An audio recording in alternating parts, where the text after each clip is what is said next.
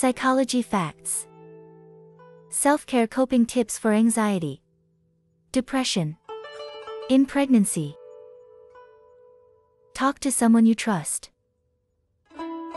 Feel free to share your feelings. Rest up, tired and uncomfortable. Get enough sleep. You can't be cheerful when you are tired, so rest whenever you can. Sneak a nap in when you feel the urge.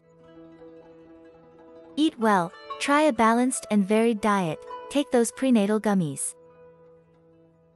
Stay active to every day. Endorphins lifts your mood. Release endorphins with our sweating, try massage therapy. Meditation. Acupuncture.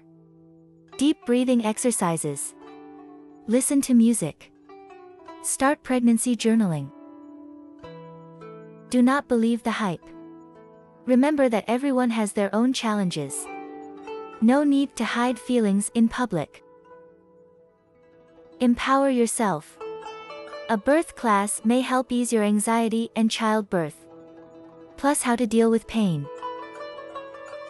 If you suffer from anxiety or depression frequently, seek help as soon as possible.